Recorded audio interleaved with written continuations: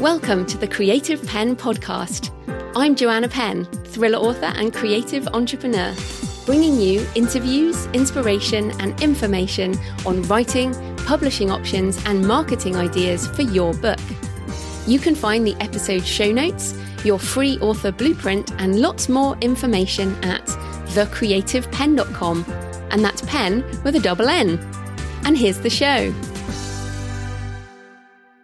Hello, creatives. I'm Joanna Penn, and this is episode number 736 of the podcast. And it is Saturday, the 3rd of February 2024, as this goes out. In today's show, I have an interview on your author brand with Isabelle Knight, who is a publicist, and we talk about how to get to the deeper levels beneath your writing, the story beneath the story, as well as why your author brand is even more important in an age of AI, and much more. So that's coming up in the interview section. So, in publishing, book marketing, and AI things, since I'm now putting all of that together, this is a story of bookish positivity, and I thought you would like it. So, the BBC reports on 20 new miniature books that have been written to add to Queen Mary's Dollhouse, which has an extensive library. Originally designed to encapsulate the literary culture from when it was built in the 1920s, features handwritten works by Sir Arthur Conan Doyle Vita Sackville West, A.A. Milne, and Thomas Hardy. The books measure just 1.8 inches, 4.5 centimetres, and have been handcrafted by famous authors to mark the centenary of the house's completion. The new editions have been curated to reflect modern literature, with the books penned and decorated by well known writers and illustrators, including Sir Tom Stoppard, Dame Jacqueline Wilson, Sir Ben Okri, and Julia Donaldson, just a few of the famous faces. The stories, or the little books, range from short stories, plays, and poetry collections to articles and recipes. The Queen, Camilla, championed the anniversary project to modernise the library and handwrote an introduction. The doll's house was made for King George V's consort Queen Mary, took three years to build, designed and built by British architect Sir Edwin Lutyens between 1921 and 24. It has electricity and running water. It is awesome. Uh, if you haven't seen it, if you haven't seen it in the UK, it's at Windsor Castle. You can go visit it. It is the largest and most famous doll's house in the world. It's a 1 to 12 scale miniature Edwardian royal residence. It has a grand piano, working lifts, and a wine cellar with tiny bottles of real champagne. And it's just one of these little stories. I was like, do you know what? That is really cool. In this age of lots of things happening, uh, that we can still make tiny, tiny books for a doll's house is just lovely. There's also a scaled down replica of the crown jewels inset with real stuff. diamonds and rubies and things. So, yes, uh, Queen Camilla is a real bookworm and does champion a lot of reading charities here in the UK. I love that story because I do really like that doll's house and certainly I had a doll's house that my granddad made for me. Uh, that was nothing like this one. but uh, yeah, I really, yeah, I love that story. I thought you'd like it. That's reported on the BBC. Links in the show notes so you can see the pictures of the tiny, tiny books. So, in completely the opposite stuff, AI and publishing. So, from tiny physical books hand bound by the royal bindery to AI stuff. So, Amazon announced Rufus, a new generative AI powered conversational shopping experience. So, I mentioned this was coming in my December show on how generative AI would impact book sales and uh, or book sales discovery and search. Uh, that episode is perhaps one of my most important future facing things, and it is already starting to happen. So, go back and listen to that uh, episode. It was just before Christmas. But yes, Rufus is an expert shopping assistant trained on Amazon's product catalogue and information from across the web, answering customer questions on various shopping needs, products, comparisons, recommendations, and to facilitate product discovery. Launching in beta to a small subset of customers in Amazon's mobile app, Rufus will progressively roll out to additional US customers in the coming weeks. So, yeah, I don't have access, which is really annoying. The press release also says this Amazon has been using AI expansively, sorry, very expansively for 25 plus years to improve customer experiences. The personalized recommendations customers get when they shop, the pick paths in our fulfillment centers, our drone deliveries, the conversational capabilities of Alexa, and our checkout free Amazon Go stores are just a few examples of experiences fueled by AI. We believe generative AI is going to change virtually all customer experiences that we know. That line there, I mean, any authors left or any people left who are, who shop uh, online. uh, I mean, this is going to change things. So, we believe generative AI is going to change virtually all customer experiences that we know. Very interesting. This is just the beginning, remember? Um, this is the worst it's ever going to be. So, this past year, this is from the Amazon press release. This past year, we've introduced a number of new generative AI powered capabilities in the Amazon store AI generated review highlights, fit review highlights to, for personalized style guidance, uh, sorry, size guidance. Also, using generative AI to make product listings even more informative. This is only limited to the US and a limited number of people. So if you try out Rufus, if you get access and you try it out for book discovery, let me know how it goes. Email me, joanna at thecreativepenn.com. I am very interested. Now, I hope it works in the same way that I use ChatGPT for book discovery. And I've already moved pretty much all my book discovery to ChatGPT. So I'll say something like, and this is a, a real search. I'm researching transcendence and the feeling of awe in Gothic cathedrals. Can you give me 10 books to read on this topic?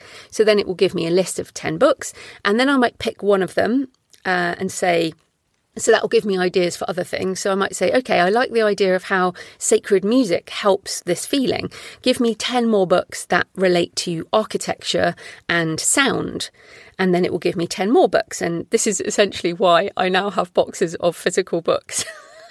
around my house waiting for the Gothic Cathedral project. I have so much research to do. I'm very excited. So it is very nuanced search. I also use it for fiction. Uh, i sometimes say, okay, I really like this book by this author. Give me 10 books that might be similar to this. And I, I often, I already find it a lot better than Amazon's own recommendation engine, which of course is full of ads. The ChatGPT one is not full of ads. There's no ads. So yeah, there you go. So I use ChatGPT for most of my book discovery these days, as well as podcast episodes with authors and recommendations on X, which I still can't quite tear myself away from. In fact, I got a recommendation on X yesterday, a book uh, called Forever Forever Strong um, by Dr. Gabrielle Lyons, um, and listening to that really good. Uh, again, it's about why we need to lift weights. So yeah, that's very good for our health, for lots of different kinds of health. Really interesting. Also, I wanted to mention that Amazon has launched an AI Ready initiative. Um, they did a study and found that highly skilled AI talent is a priority for 73% of employers. This was in the US, but three out of four say they are unable to meet their AI talent needs. Employers expect their workers to earn up to 47% more in salaries if they upskill in AI, and AI will become integral to the way business is done, with 93% of businesses expecting they will use AI solutions across their organizations in the next five years. So, Amazon has released a, load of free courses that will help you upskill in AI. Microsoft are also offering lots of them. So, if you want to start retraining and upskilling for the way things will be changing in the next five years, then uh, check that out. Again, I'll link in the show notes, but it's AWS free AI skills training. So, in other things, while the New York Times is still suing OpenAI, they are also hiring for their own AI initiatives, focused on prototyping uses of generative AI and other machine learning techniques to help with reporting and how the Times is presented to readers, although they say human journalists will still write the news, as reported by The Verge. Now, this echoes the Hollywood Reporter article I mentioned last week on reports on a potential licensing deal with the Authors Guild, exploring a blanket license to artificial intelligence companies for use of content. We have to be proactive because generative AI is here to stay, says Mary Rasenberger, chief executive of the organisation. They need high quality books. Our position is that there's nothing wrong with the tech, but it has to be legal and licensed.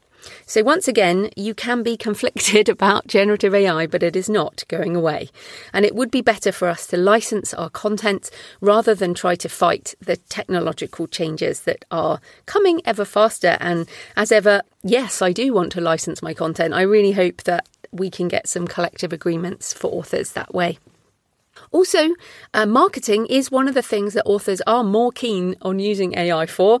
And the Marketing Against the Grain podcast had a good show on this. So that's Marketing Against the Grain, which uh, it's one of those podcasts I actually subscribe to. I don't subscribe to many shows and listen regularly, but they do enough that I find it useful. They're often ahead on using AI tech for marketing purposes. And they did a good show Tools and strategies you must use to survive the 2024 revolution.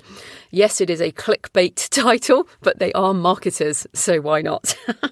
Definitely worth a listen. One of the hosts is Irish, and uh, they're both very enthusiastic tech chaps. I guess tech bros would be the word, but I, I find their enthusiasm kind of infectious.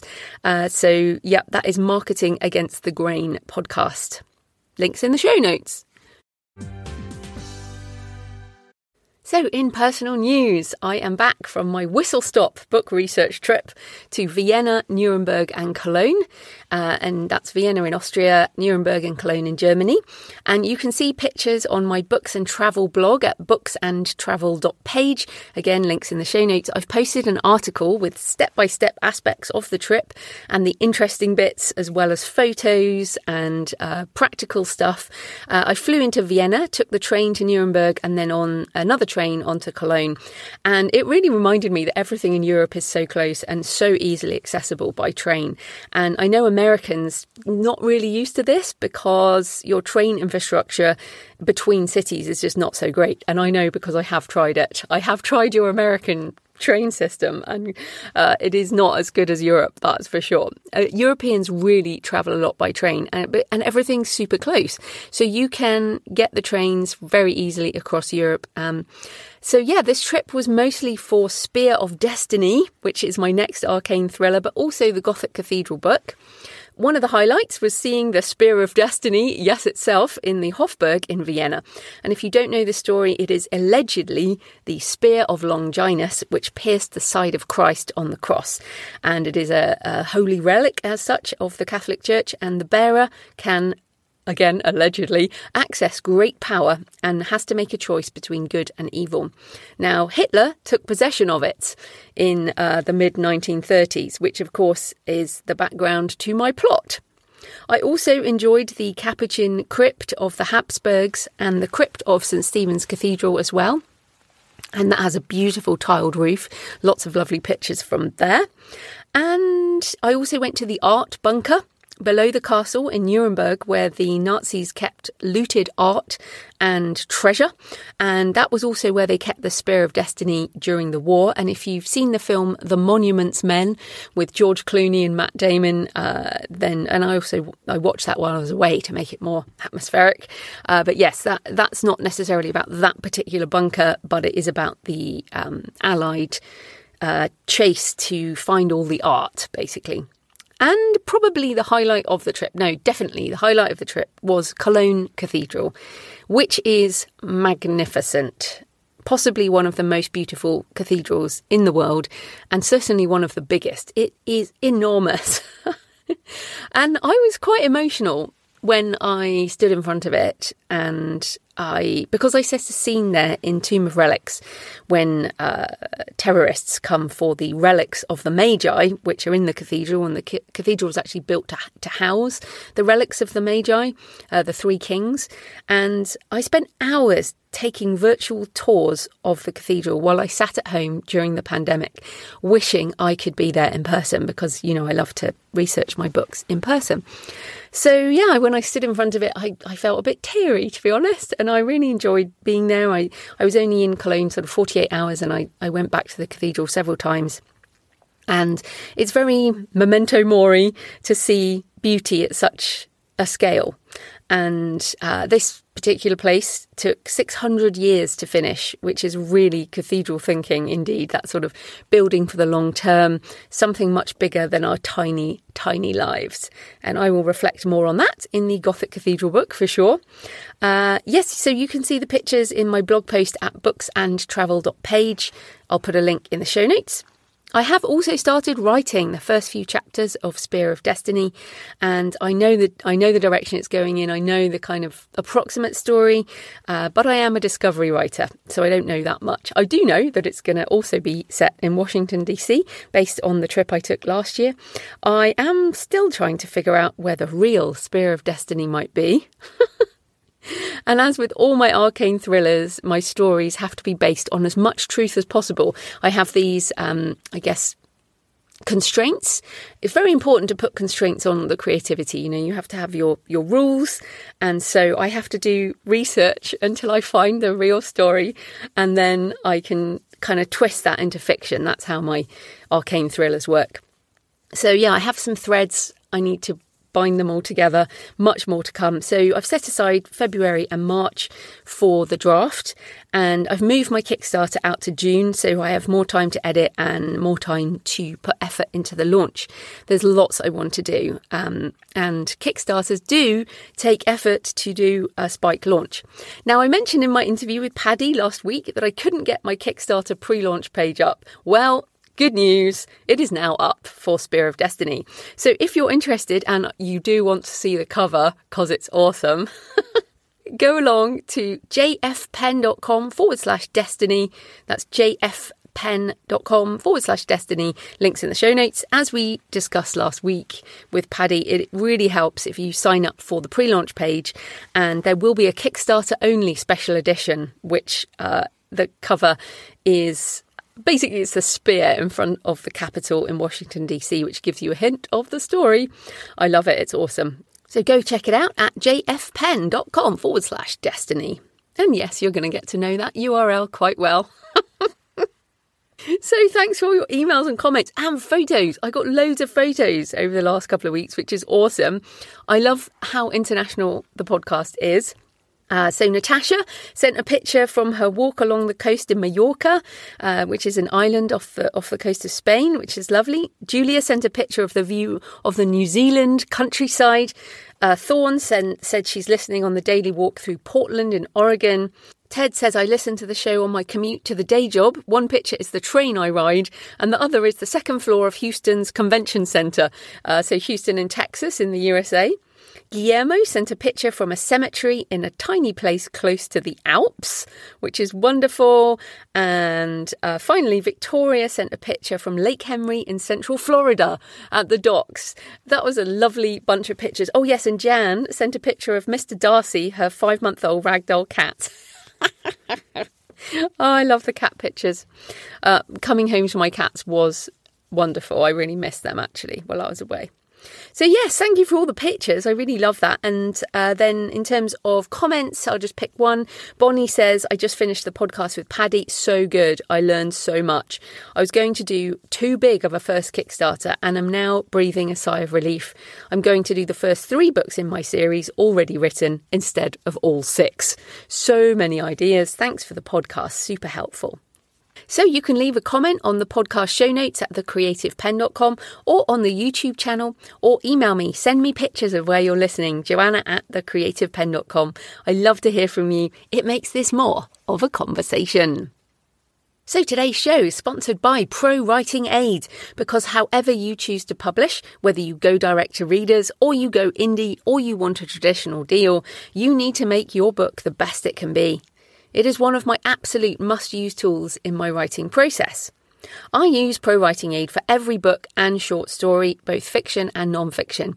I open ProWriting Aid on my computer, then I open my Scrivener project within it and I work through each chapter, which is more manageable than doing a whole document, a whole book. And it suggests improvements, and I accept some of them, but I don't accept all the changes. But it always helps me find lots of problems, and it integrates with Word and other writing software as well. ProWriting Aid knows all the rules of editing and helps you apply them. For example, making your writing more active, finding repeated words, finding words you could improve, sentence structure, grammar, punctuation issues, as well as typos, spacing problems, and more. So, why use software to help? Why don't you just learn all the grammar and writing rules and apply them yourself? Well, we all use tools to improve our process, and we are also often blind to our writing issues. It helps to have another pair of eyes, even if the eyes are software. So, won't an editor do all this? Well, yes, they can, but I'd rather pay my editor, my human editor, to fix the things that the software can't. As brilliant as ProWriting Aid is, it cannot read your manuscript as a whole and comment on bigger issues like character development, inconsistencies, plot holes, or flow in a non fiction book. So I use ProWriting Aid as my essential editing tool before sending to my human editor. You can check out the free edition or get 25% off the premium edition by using my link, prowritingaid.com forward slash Joanna. That's prowritingaid.com forward slash Joanna, J O A N N A. So, this type of corporate sponsorship pays for the hosting, transcription, and editing, but my time in creating the show is sponsored by my community at patreon.com forward slash the creative penn. So, thanks to the 29 new patrons who've joined since I recorded the last show before my trip, and thanks to everyone who's been supporting for months and years. Last week, I put out a video on my bank account setup. which is a behind the scenes business video. Now you might think, oh, that's a bit dry, but no, it is intended to help you save on exchange rate differences and bank fees with multi currency payments. And if you're using Amazon and you don't use multi currency bank accounts, you're missing out. So that was my useful video for my patrons. If you join the community, you get that video and all the backlist videos and audio, as well as access to the monthly Q&A where you can ask your questions. It's an extra solo show a month, and you get the backlist too. The Patreon is now a monthly subscription, the equivalent of a black coffee a month or a couple of coffees if you're feeling generous. So if you get value from the show and you want more, come on over and join more than a thousand authors. Yes, we've cracked a thousand. I'm really thrilled about that.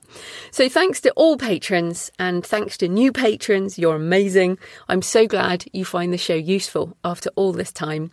Join the community at patreon.com, P A T R E O N.com forward slash the creative penn. And there is a Patreon app. So if you're worried about access, you can access everything through there uh, and also on your computer or whatever device you prefer. Right, let's get into the interview. Isabelle Knight is a professional publicist, speaker, and PR and brand mentor to authors and business founders. She is also adjunct professor in MA, PR, and advertising at the American International University of London. So, welcome to the show, Isabelle. Thank you very much, Jo. It's a pleasure to be here. Thanks for having me. Oh, no, I'm excited to talk about this topic. But before we get into it, tell us a bit more about you and your background in the publishing industry. So, my background is as a publicist the bulk of my career was in film. So I was a film publicist for a long time.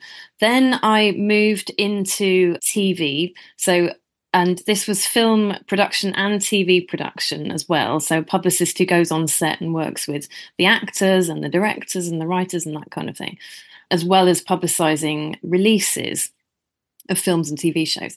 And through that time, I worked with also on some book releases with authors, but particularly towards the end of, of my kind of traditional publicist career, I worked with J.K. Rowling and the production team that produced the Strike series of books. Oh, I love it. For TV. So it wasn't J.K. Rowling, it was J.K. Rowling writing as Robert Galbraith. So I was on that for a few years which was all very exciting.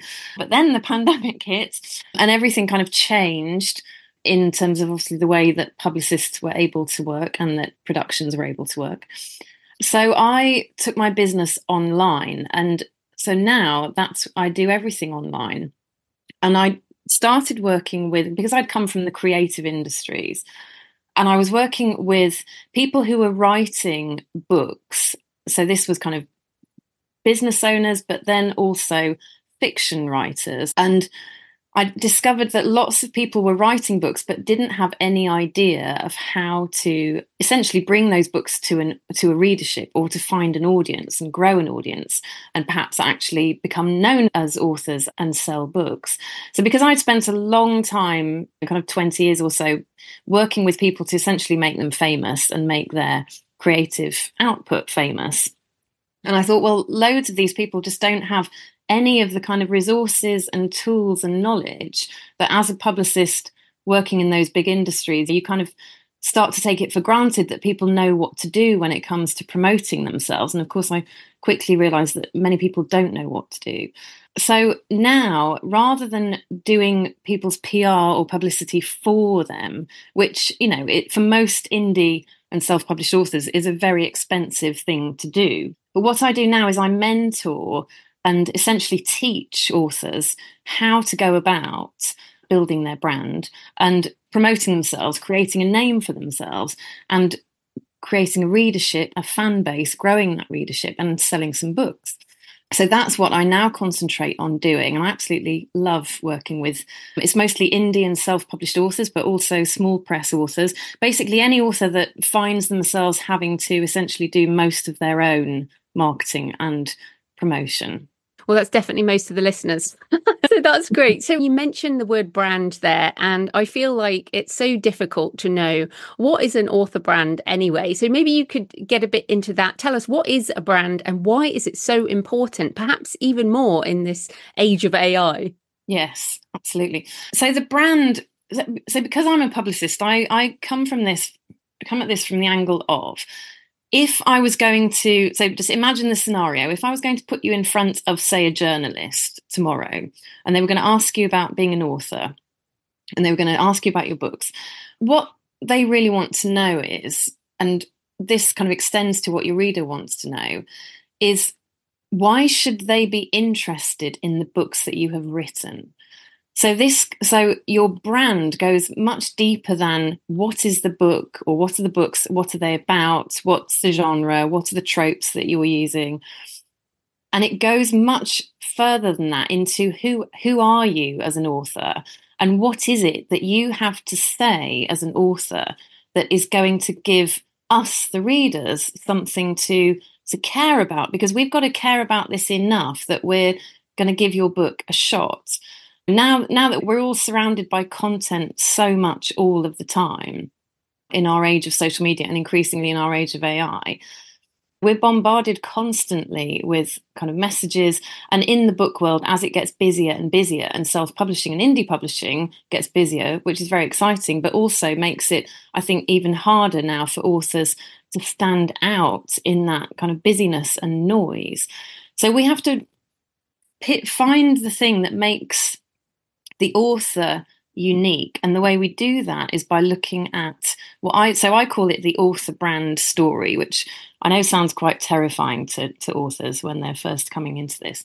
But if we kind of set aside the, the word brand for the moment and we just look at well what is it about the author that make that makes them unique? Why are they writing what are they writing so for example if you're a fiction author and writing romance or you might be writing fantasy or science fiction why are you writing in that genre? What is it that's important to you about it? And what messages do you want the reader to take away? What do you want them to remember about the book? So with a journalist they're going to be asking why do you write? That would probably be the first question or what made you become an author? So it's thinking about that and it's thinking through what can you say about yourself as an author. So I go into most people become authors because they're emotionally led to do it. The motivation tends to be emotional when we're writing and the themes that we're writing about. So, what are the things that drew you to those themes? What are the things that led you to write what you're writing? Well, there's so many things there. I've been writing notes to oh, come back on. Good. Okay. So you talk there about we have so much content all the mm. time, and mm. that the person on the other end, whether they're a journalist or a reader, needs to know, I guess, who you are as an author and what the emotional connection is between yeah. you in some way. And so I feel like for the last like decade, we have focused much more on content. So you said content, books being content, even though it's not a very romantic word.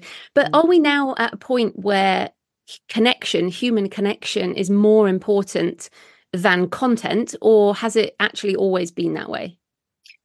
I think human connection has always been important. But I think we're in a place now with obviously with AI making it so much easier to produce content and content that looks like so many other kinds of content and i think this is the point when you have lo- lots and lots of content that essentially is is all it's the same so if we've got 10 romance novels all lined up together and they're all dealing with similar kinds of tropes and they've all got the the hero and the heroine or whatever's going on in those in in the novels so to tell if you if you sit and tell a reader, right, which of these 10 books should you read? Well, this one's about this, this one's about this.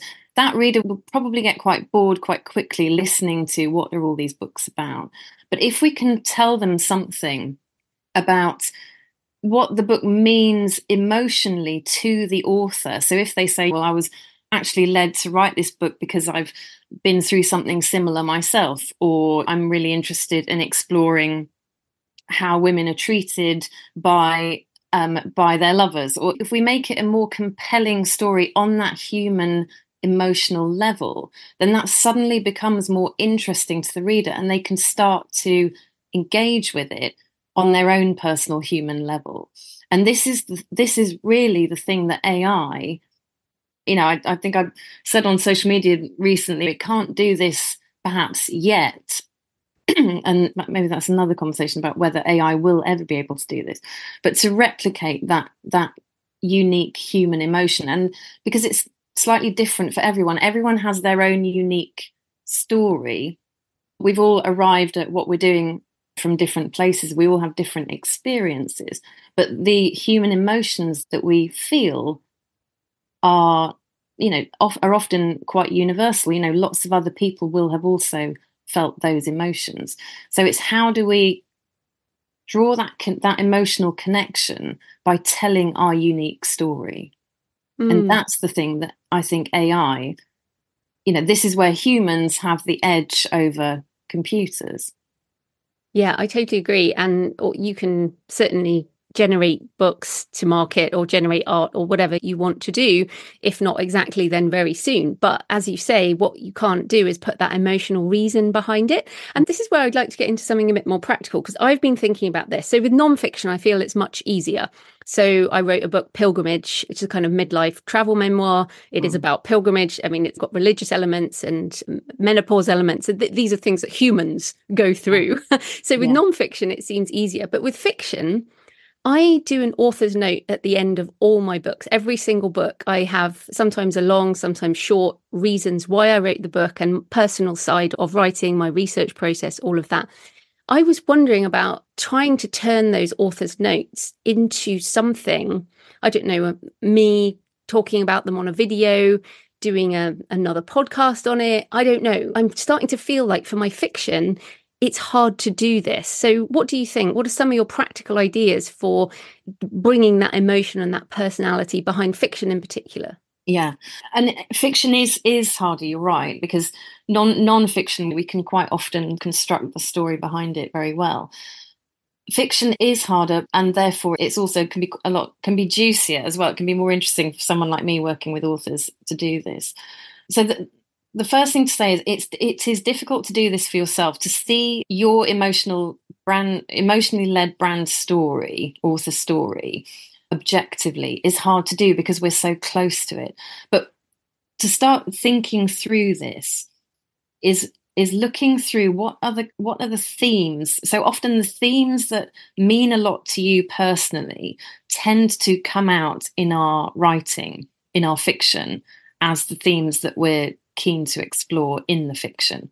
So when I do this work with authors, what I'm doing is looking for the threads that kind of tie the author's passions, motivations, and we'll see that reflected in the writing. So it's kind of trying to tie all of that together.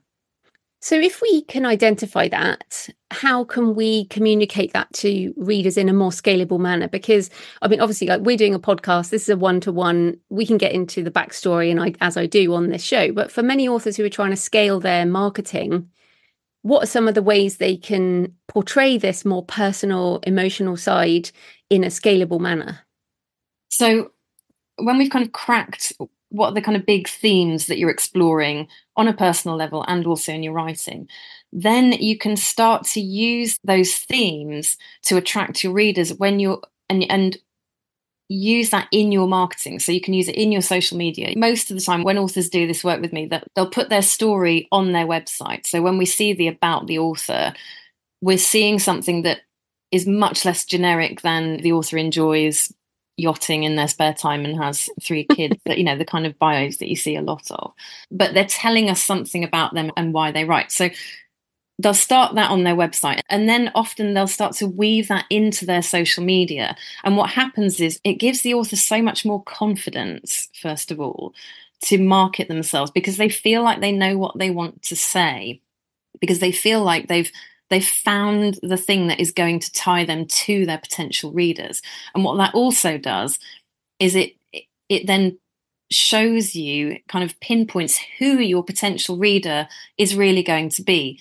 Because when I say to authors, right, step one is figure out what are we going to say about you as the author. Step two is who are we going to say it to, i.e., who do we want to attract? Who is our reader? And people say to me, oh, but my reader is just everyone that enjoys fantasy or everyone that enjoys YA.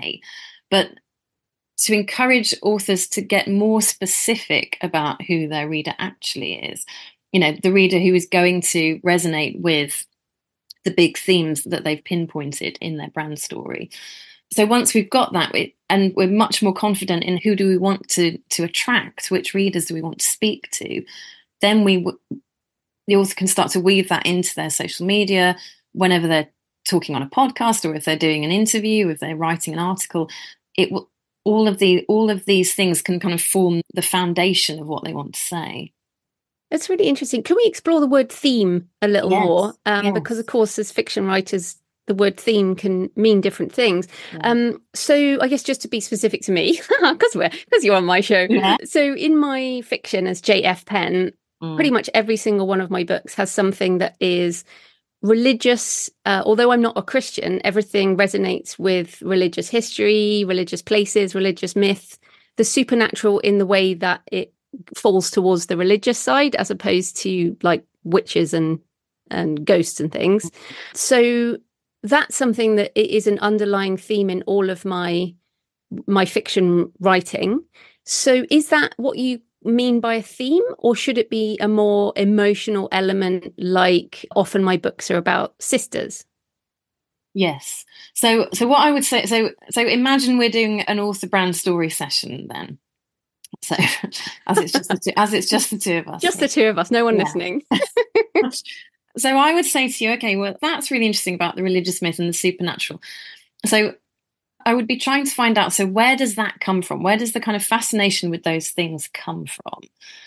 And so if we're looking so you mentioned sisters. So that again is an intriguing theme. So what is it about sisters? Is it about the relationships between sisters? And is that somehow then tied into the themes of the supernatural, the religious myths? So what I'm always saying to authors but you know why? So tell me why that's important and why is that important? So that we get right underneath the skin of it um, and often this brings stuff up for people that they hadn't ever kind of articulated ever oft, sometimes not even to themselves but they'll say to me oh that's always been there. It's like a huge kind of thing that i'm really that is so so important to me. It's so integral to who i am and what i'm writing Mm, that's interesting. My my last nonfiction book was called Writing the Shadow: Turn Your Inner Darkness into Words, and that's actually the process that one gets into in terms of writing the shadow. Is these deeper side, the things you might not have really known about consciously, but that affect everything you do. So it's very interesting that you're going down to such a deep level for people. I feel like so much of book marketing is on the surface.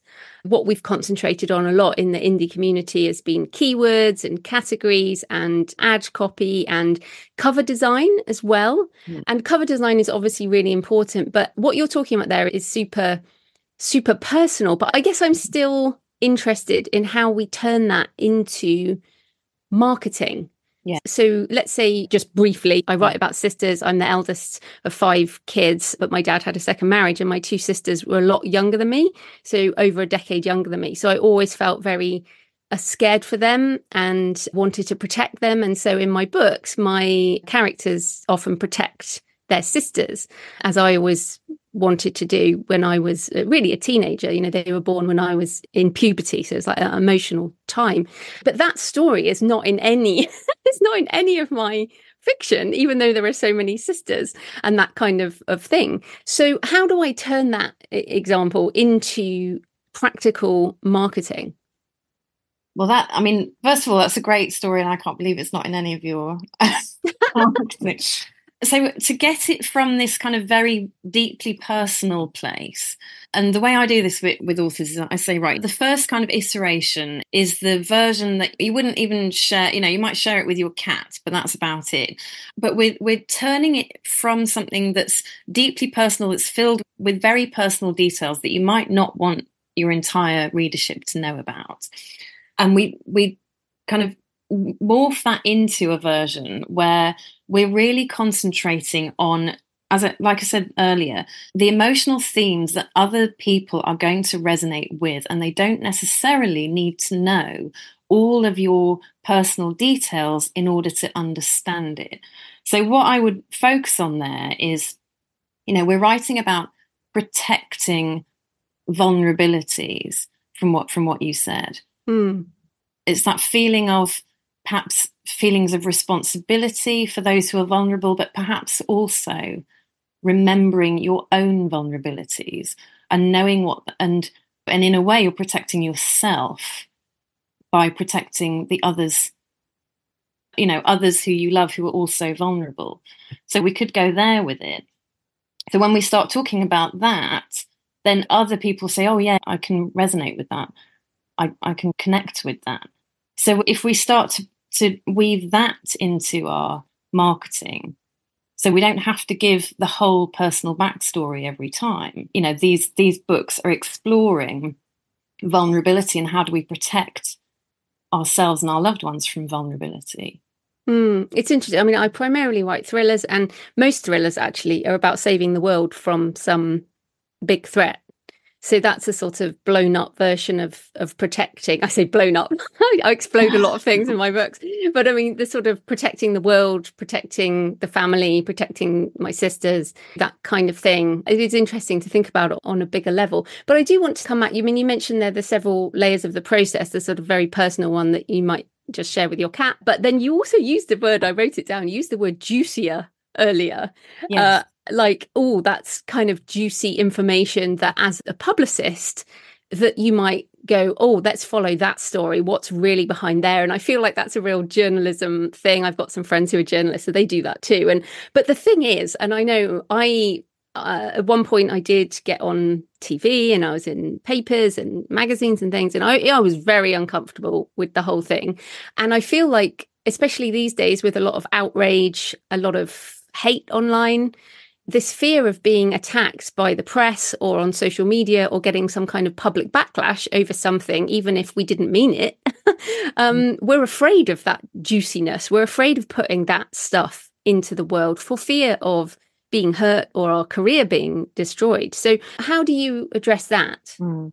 Yeah, and this is a really, really good point. It's a, an excellent question because yes, that word juicy um, is yeah, it's it's misleading really because i agree i agree with you that what i'm not doing is i'm not trying to put people into situations where they are vulnerable where they feel exposed and they feel like you know they are opening themselves up in a way when they can't protect themselves from potential judgment or being attacked online or whatever it is so what I'm not doing is looking for what I call the kind of cheap headlines. Mm. You know, I'm not interested in, you know, I mean, a lot because PR PR has, you know, sometimes deservedly has this reputation of being, you know, we're just looking for the easy headline. We're looking for the salacious gossip. We're looking for the juicy story that we can exploit.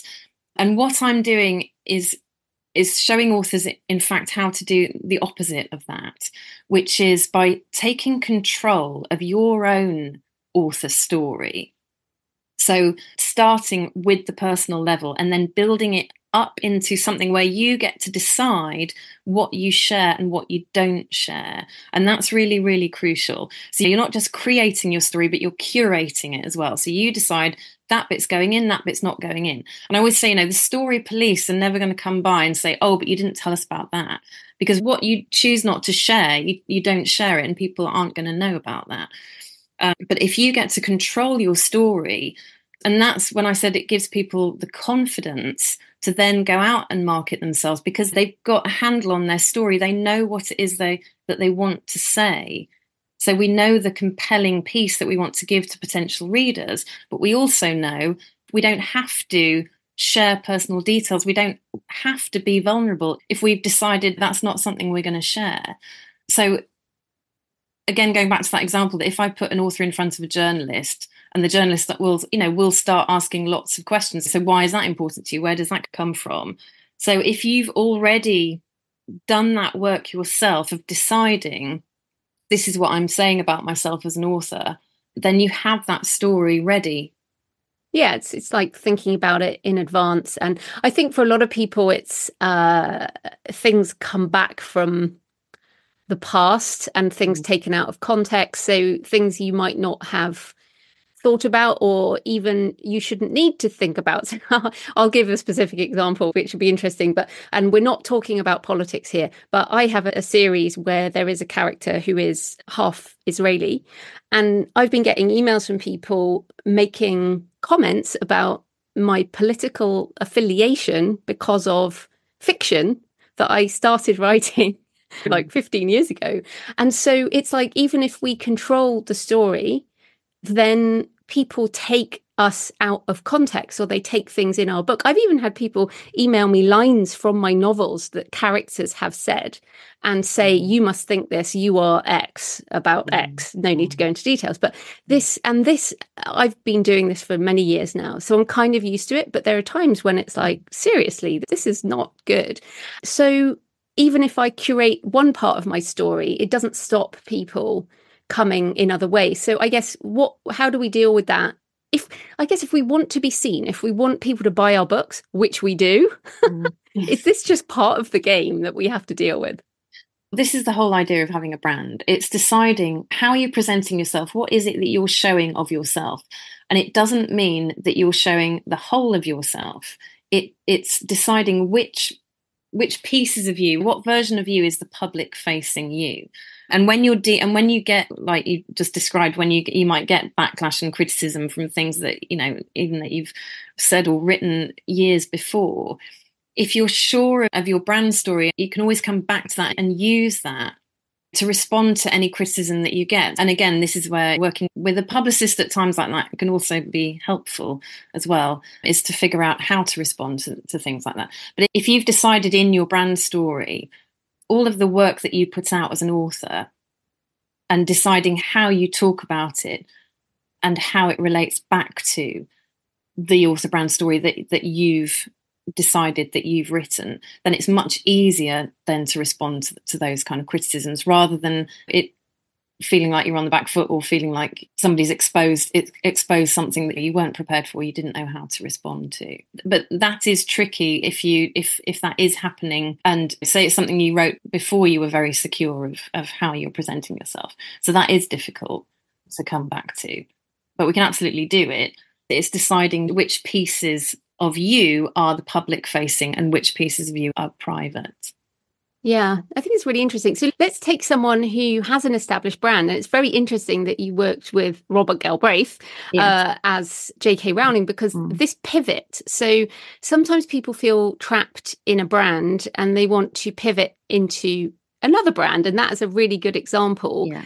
Now, it's questionable whether Robert Galbraith would have been as successful without it being outed somehow mm, or yes. leaked potentially yeah. that yeah. who the real person was, which is interesting question. But in terms of less famous authors, if you want to pivot out of one thing and be known for something else, how do you bring existing fans along? Can you pivot that author story or are you best to just start another name? So this again is a brilliant question because I get this a lot from authors and I think for you as well, you mentioned you have kind of two different mm. brands. So authors either have more than one existing brand, as it were, or they want to pivot. They're known for one thing and they want to pivot into the new thing. So we don't need to create lots of different brands. We don't need to become lots of different people, lots of different authors. We can we only need one author brand story. That story can evolve as you do as a writer as an author. The story can grow with you, but the kind of fundamentals of that story will remain the same. Using the J.K. Rowling example, when she first wrote the Harry Potter series, the kind of the story behind that was that she was a single mother who was struggling, wasn't getting a break for for ages, but it was that kind of that fan, writing fantasy stories that kind of take you out of reality. And then when she pivoted, again, it was the not being known for one story change pivoting and becoming known for something completely different and wondering whether she could get away with being anonymous. And obviously she didn't get away with that for very long at all. But it's always creating that kind of story behind the story which is what we want to do. But we can use one brand story to wrap together all of your genres all of your books. I work with authors sometimes who are, you know, they might be writing romance and children's books, for example, but we don't need to create several different brands. We can do that under one brand, but we're looking at what are the themes that tie together those different genres. Because I would say 100% of the time, when it's the same person writing, they're going to be that those motivations are going to be the same across their genres. Yeah, I, I, see. I disagree with that. I think that, especially as one writes a lot more books, mm. then it does almost become, well, the audiences are very different. So, my audience is Joanna Penn is quite different to JF Penn. They're different aspects of my personality, they're different aspects, uh, the readership are different, the email lists are different, the ads are different, everything looks different, you know, has a different voice, even. Um, mm. Not because I'm mm. in somehow a split personality or anything like that. But uh, you mentioned children's and romance. Well, mm. that's fine. But I know a lot of children's authors who also write horror, and they have to split their websites or erotica. Maybe it's not sweet romance, maybe it's erotica. And so people, certainly in the indie community, I think we tend to write generally a lot of more books than in the traditional industry. Yes. Yes. And so often we are moving into these further parts of ourselves, I guess. So I, I certainly agree with you on one level, but I also disagree because I feel like it's actually more sensible to manage the more, at least the more direct marketing around email and ads and all of that kind of stuff as two brands. Yeah, and I, I do agree with that. That is absolutely true. That to do definitely in your direct marketing and the way you present yourself is going to change across your different brands but you can still have your kind of 360 degree author brand story so that we we can still see that it's you even if you might be writing in wildly different or or opposing genres. But you can absolutely have you know you'll have your two brands visually you'll have your two brands in the way you present yourself and maybe even and in your name. But your author brand story will still have will still be able to trace it back to that story behind behind the story but you will absolutely need to adapt in your direct marketing and the way you talk about those different genres for sure. Yeah no I, I find this so interesting and as we said at the beginning i think this is just more and more important over time but i also know that for my fiction i've hidden behind the books yes. because it's much easier for me to write a book than yeah. it is. For example, I've never done a live reading of my fiction. Never, never done that. Never done a book launch. Never mm. done any mm. most. Of, they've never done most of the things that most traditionally published authors do as part mm. of, I guess, what they call marketing. It's very different to what we often call marketing in in the indie world, but I feel like that's actually becoming more important. So I did want to ask you because again, one of the feelings in the indie community is hiring a publicist may well be too expensive. You actually, I think you said it yourself a, a bit earlier, mm. it might not mm. be worth it. But when might it be worth it as an indie author? What stage of an indie author career or what might they achieve if they do hire a publicist or work with someone on this? So, this is another interesting question. So, lots of the authors that I work with are getting off the starting blocks in terms of working out what their marketing strategy is going to be, working out who they are, how to present themselves as authors, and to get going. And then they start to build the kind of results that if I was working, if I was providing what we call done for you publicity services that I would want to see, which is getting themselves interviewed on the radio. They get into magazines, they're interviewed on podcasts, they start giving talks and they do book launches at bookshops and that kind of thing. So the what the way I'm working with authors is they are they are able to get all of these results for themselves with me kind of guiding and supporting and showing them this is what you have to do next. And for example learning how to pitch yourself as an author is such a huge skill that loads of authors struggle with because if you don't have a background in marketing and PR that kind of thing is going to be really difficult. So at the point where you might want to hire a publicist to do this for you is the point where as an author you've grown your brand to a certain level you've got a good readership you know how to do your direct marketing you're making sales. You're engaging with your readers, you have more of a relationship with your readers, as in you know why they're reading your books, you know kind of who they are, what they're looking for in you as the author, and that you've got a fan base, you've got readers who are eagerly awaiting the next book in the series, and so on. So when you get to the point where you're doing so much direct marketing that actually some of it is about not having the time to do all of your publicity, PR, marketing all by yourself. So if you're at that level, then hiring a publicist for your next big book launch, you know, that could be the right time to do it. But until you get to that point, learning how to do so much of this for yourself and how it works. So learning how to establish relationships with journalists, for example, how to pitch yourself. Because remember, how to pitch yourself applies to pitching to agents, publishers, journalists, book festival organizers, all of these people are people you would need to pitch to. So once you've learned that skill, you can use it over and over again. So learning how to present yourself is something that once you've kind of cracked that, then that's a skill that you'll use over and over. Whereas if you're hiring a publicist to do it for you, they'll go off and they'll do the strategy and they'll bring back the results. But if without you being so involved in understanding what that process is. So I think my philosophy is teaching people how they can do this for themselves. So I'm not teaching you how to become a publicist, but I'm teaching you how to understand how to market yourself and what's going to work for you to reach your readership, because then you can repeat those actions over and over as you go through your author career. Yes, and again, I feel like as indies, we've spent a long time, like many of us are very, very good at direct sales. mm, but mm. in a changing world where the human connection is going to become more important, I, I do think this is important. So hence why mm. we're talking. And also you do have a course coming up. You have lots of things you you do available on your site. So just tell us about your services and where people can find you online. Brilliant. So my website is buildyourbrandwithpr.com. And I have a six week Build Your Author Brand course that I run. It's an online course, but you get access to me. We do live sessions. So it's not just kind of learning on your own you're learning in a group with other authors and you have direct access to me and we have lots of live q&a sessions and that will start again on the 24th of february so that's a six week online course 2024 um, we should say 2024 yes yeah.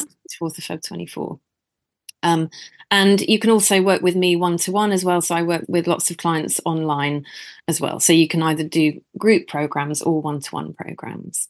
Mm. And do you repeat that over time? Like if, if people listen to this later and they want to do it, do you do them several times a year? Yes. So I run the six week online course that runs three times a year. Right. At the moment. So yes, yeah, so if you miss the next one, then you can sign up for the for the one after. Brilliant. And you have an email list and everything there as well, so people can find out more. Yes, yes. So you can sign up to the email list uh, through the site. And if you feel like working one to one with me on your author brand story, you can also book a quick call with me to talk about that too. Brilliant. Well, thanks so much for your time, Isabelle. That was great. Thank you. Thanks, Jo. It's a pleasure. So I hope you found this interview interesting and that it made you think about what might lie beneath your books. What is the story behind your story? And how could you incorporate aspects of your deeper self into how you connect with readers? And how can you dig deeper into your author brand in this age of AI? So let me know what you think. You can leave a message on the show notes at thecreativepenn.com or on the YouTube channel or email me, joanna at thecreativepenn.com. So, next week, I have an interview on writing and producing a micro budget film with Jeffrey Crane Graham. And that kind of independent filmmaking has a lot in common with being an indie author, so we have a really good chat. In the meantime, happy writing, and I'll see you next time. Thanks for listening today. I hope you found it helpful. You might also like the backlist episodes and show notes available at thecreativepenn.com forward slash podcast. You can also get your free author blueprint at thecreativepenn.com forward slash blueprint. If you'd like to connect, you can tweet me at The Creative Penn or find me on Facebook at The Creative Penn. See you next time.